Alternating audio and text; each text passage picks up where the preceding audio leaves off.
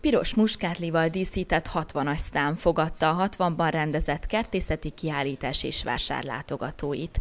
Kerti, balkon, gyógy és fűszernövény, évelő vagy egynyári virágok széles kínálata, tápszerek és kerti szerszámok és gépek közül válogathatott, aki ezen a hétvégén a Kossuth térre érkezett. Annak is érdemes volt kimennie, akinek se kertje, se erkéje nincs, ugyanis a rengeteg növény mellett kézműves ékszereket és ételeket is hoztak a kiállítók.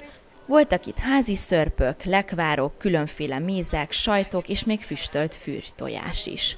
A kertészeti kiállítás és vásár hétvégéjét Horváth Rihárd polgármester nyitotta meg. Beszédében a történelmi 60-ba kalauzolta a jelenlévőket.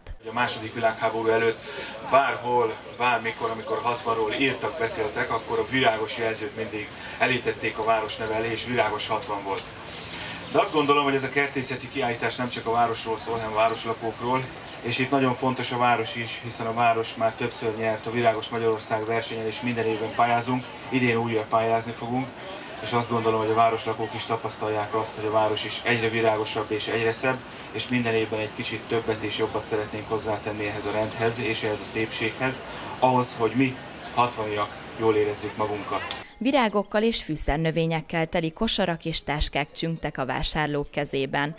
Zsíros Mária nem bízta a véletlenre a vásárlást, határozott elképzelése volt, hogy milyen színű és fajta virágot szeretne a teraszára. Már odahaza megvan a szín, és ez ilyen kiegészítés lesz, mert sötétebb szín, és ez most világosabb lesz közéje. Értem. Szeretem, mert ismerem ezt a növényt. Volt, aki már rendszeres látogatója a vásárnak, de tavaly az esőzés miatt ki kellett hagynia. A kellemes időnek hála, még Kálóból is ellátogattak ide, hogy az itt vásárolt termék termékekkel színesítsék a kerteket, teraszokat. Hát elsősorban muskátlikat szerettünk volna venni, mert két éve nagyon szépeket vettem, és hát kertészmérnök vagyok, úgyhogy van egy kis elfogultság is ezzel kapcsolatban, úgyhogy virágosítunk. Mézvirágot vettünk, így amik jól passzolnak a muskátli mellé, meg futólóbéliát, úgyhogy ezeket így a teraszra meg a kertbe. A fűszernövények is kelendőek voltak a vásáron. Az egyik Budapestről érkezett kiállító elárulta, az idei vásár sztárja a bazsalikom volt. Sláger az a bazsalikom ebben az évszakban.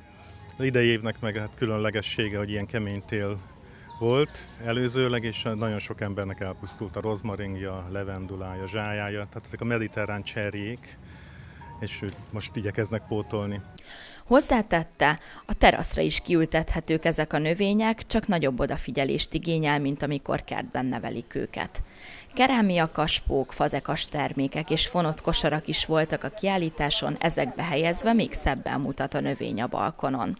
60 diákok által készített kosárfonásokat, cseréptárgyakat is árultak. A Grössalkovics iskolának tanulóinak a termékeit, tehát főleg ugye kertészek, ebből lehet látni, illetve a kosárfonó tanulóinknak a, hát a munkáit, főleg azokat a dolgokat, amiket amik gyakorolnak, tehát nem, de vannak szép késztermékek is. Ezekbe a tartókba saját maguk által nevelt virágok, dísznapraforgók, fűszernövények és palánták is megvehetőek voltak. A bevételt pedig az iskola fejlesztésére fordítják. További kézműves termékek, üvegből és bőrből készült egyedi ékszereket, lakásdekorációkat is láthattak a nézelődők.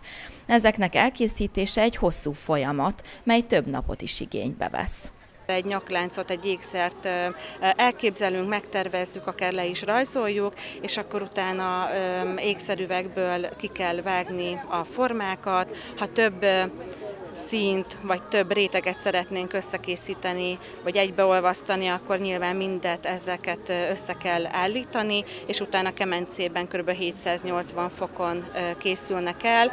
Hát egy-egy ékszer elkészítése összességében több napig készül, de ha össze kéne számolni, akkor több órás folyamat. Hozzátette, a kiegészítők szerelmeseinek saját elképzelései is megvalósíthatóak, gyakran megrendelésre is dolgoznak. Emellett különféle finomságok is megkóstolhatóak voltak nézelődés közben. A növényekből nyerhető édes nedű, a méz, a füstölt kolbász, a sajtok és a fürtojás is szereplője volt a kiállítottak palettájának. Utóbbi elkészítése egy hosszú folyamat, amely főzéssel, pácolással, leszárítással és füstöléssel is jár. Izgalmas kiegészítője lehet a pecsenyének, illetve előételként vagy snackként is tálalható salátába, tehát például a füstölt sajtok helyére, vagy a feta sajt, amit szoktunk használni, vagy bármi olyan, ami, ami sajt nincsen készelétben, akkor lehet egy, egy ilyen füstölt tojást beledobni, kockázva vagy egészben, attól függ, hogy ki mennyire ereszti el magát. Azon kívül, tehát előétel saláta, azon kívül sültek mellé kiegészítő, levesbe, levesbetétként. Érdekességként hozzáfűzte, a megszárított hiából pedig kálciumtablettát készítenek. Az óvodások is megmutathatták saját kezük munkáját ezen a rendezvényen. A korábban meghirdetett kiskertépítő versenyre rengeteg ötletes kompozíció állt össze. Többen megcsodálták ezeket az alkotásokat. Kerek Istvánné azért látogatott ki, hogy a gyógynövényeket szerezhesse be, de óvónő ismerősei csoportjainak munkáját is mindenképp meg akarta keresni, mielőtt hazaindul vásároltam is, sőt, még a fiaméknak viszek Dunakeszire is gyönyörű virágokat, úgyhogy megrendelésem van. A hétvégén többféle előadást is meghallgathattak az érdeklődők. A zöldtetők építéséről kaptak tájékoztatást, a növénytáplálásról és a világító képességgel rendelkező virágokról is szó esett. Továbbá valamennyi vásárlás mellé ajándék tombola járt, amelyel a kiállítók portékáiból összeállított nyereményeket lehetett megnyerni. Vasárnap pedig kiderült, hogy a 60 varázskapó óvoda Mihecske csoportjának alkotása lett a legmesésebb idén a Meséskertek című kiskertépítő versenyen. Helyezést ért el a 60 Vörösmarty téri óvoda középső csoportja, a Gesztenyés kert óvoda Galagonya csoportja, külön díjat kapott a 60 Varázskapó óvoda Katica csoportja és a Százszor szép óvoda Pillangó csoportja is. A rendezvényen a TV2 is jelen volt, ugyanis 60-ban forgatták a Podgyász című utazási magazint, amelyet június elején láthatnak majd a csatornán.